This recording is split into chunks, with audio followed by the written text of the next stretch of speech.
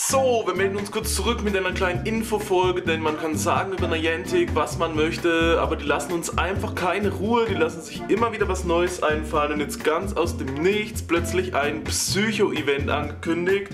Ihr habt das sicherlich hier alle gesehen in euren Neuigkeiten, das wurde direkt im Spiel angezeigt natürlich. Wir prophezeien mächtige Pokémon während des Psychospektakels. Das Ganze fängt am äh, Freitag an, also heute ist Freitag. Also heute am 5. Oktober geht es los um 22 Uhr und das geht alles bis zum 14. Oktober 22 Uhr. Und in der Zeit werden natürlich äh, mehr Psycho-Pokémon erscheinen, natürlich so wie Traumato, Pupans, Spoink, Abra, Fleckmon, Lamos, sonst was. Manche munkeln auch, dass es vielleicht vermehrt Palimpalim gibt oder vielleicht sogar Incognito, weil das ja auch äh, Psycho-Pokémon sind, aber das wäre natürlich ein Traum, muss aber nicht sein. Die werden wohl weiterhin selten bleiben.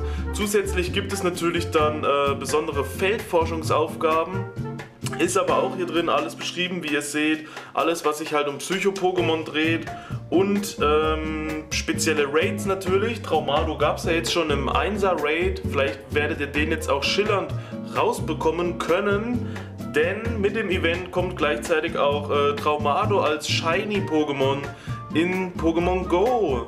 Also macht euch alle auf die Suche, fangt viele Psycho-Pokémon, fangt viele Traumato. Und ich kann mich noch damals erinnern an Weimar oder was das war, wo wir durch die eine Straße gelaufen sind. Straße hoch, bestimmt 30 Traumatos gefangen. Straße runter, nochmal 30 Traumatos gefangen. Man hat gedacht, ganz drei, äh, in ganz äh, Weimar rennen die Psychos rum. Das war auf jeden Fall heftig, mitten auf den Straßen. Ob es ein Nest war, eigentlich nicht. Es war ja kein war ja keine, äh, kein grüner Untergrund, nix, aber das waren coole Zeiten. Wenn es jetzt so heftig abgehen würde, steht dem Shiny vielleicht nichts mehr im Wege.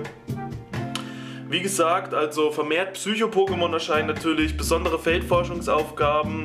Es gibt auch besondere Raids, vermehrt Psycho-Pokémon, die in den Raids erscheinen. Also die Raid-Bosse werden wahrscheinlich auch sich wieder verändern, wieder äh, wechseln. Und natürlich Shiny Traumado. Jetzt wurde ne, im Oktober erst äh, Shiny Krabby und Shiny Kingler eingeführt. Und Pandir äh, Nummer 1, die Form Nummer 1 wurde eingeführt. Und es geht einfach immer weiter, es geht weiter, es geht weiter. Heute beginnt auch die Mag in Erfurt, wo wir dann morgen sein werden. Jetzt beginnt schon wieder das nächste Psycho-Event. Aber wir schauen, ob auf der Mac vielleicht auch besondere Pokémon sind. Jetzt überlappt sich das aber mit dem Psycho-Event. Im Endeffekt ist die ganze Mac dann nur noch voll mit Traumado. Aber das werden wir natürlich dann erst sehen. Auf jeden Fall viel Spaß euch natürlich mit dem Event. Geht raus, fangt ein paar Psychos und würde ich sagen, wir sehen uns das nächste Mal wieder. Also Peace out, Vorhaut, euer Ramses. Puh.